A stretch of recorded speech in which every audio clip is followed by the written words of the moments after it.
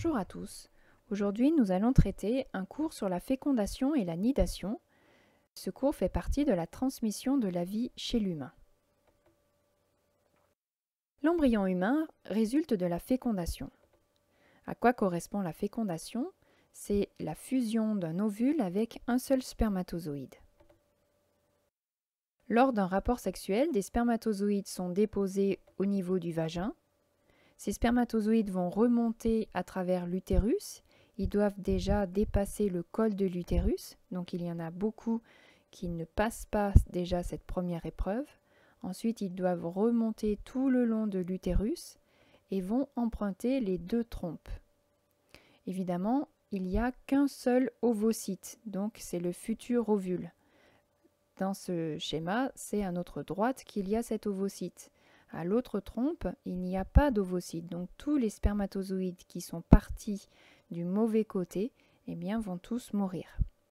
Les autres ont peut-être une chance de fusionner avec l'ovocyte, donc avec le futur ovule. Cet ovocyte va se déplacer un petit peu dans la trompe et à un moment donné, les deux cellules de la reproduction sont réunies il peut y avoir une fécondation qui a lieu dans l'une des trompes. Comme on le voit sur l'illustration, les spermatozoïdes entourent l'ovule. Un seul spermatozoïde va pouvoir entrer dans l'ovule et fusionner avec cette cellule. La cellule que l'on obtient est appelée cellule œuf lorsqu'il y a une fusion des deux noyaux, le noyau de l'ovule et le noyau du spermatozoïde. Cette cellule œuf va alors se diviser pendant de nombreuses heures suivant le rapport sexuel. Et en même temps qu'elle se divise, elle se déplace tout le long de la trompe. L'embryon, au bout de quelques jours, va rejoindre l'utérus et va pouvoir s'implanter dans la muqueuse. Cet embryon arrive au niveau de l'utérus. La muqueuse de l'utérus, comme on l'a vu, est très développée. C'est ce que l'on appelle une dentelle utérine. Et cet embryon va pouvoir entrer dans cette dentelle et faire une sorte de nid. Le fait qu'il s'implante dans cette muqueuse utérine est appelé la nidation. Une fois bien installé, il va pouvoir se développer.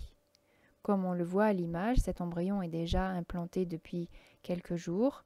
On voit très bien l'embryon déjà entouré par une poche qui est la poche amniotique et en dessous des cellules qui sont beaucoup plus rouges qui commencent à s'installer aussi. C'est ce que l'on verra, c'est le placenta. Donc si un embryon s'est implanté dans la muqueuse de l'utérus, eh bien cette muqueuse de l'utérus bien sûr n'est pas éliminée les règles ne vont pas se produire et c'est le premier signe d'une grossesse. Pour vérifier qu'il y ait bien grossesse, on peut faire un test de grossesse. Ce test va détecter en fait des hormones produites par l'embryon et euh, ce test va les détecter dans l'urine. Si jamais deux barres apparaissent, c'est que le test est positif. Si ce test reste avec une seule barre, c'est qu'il est négatif.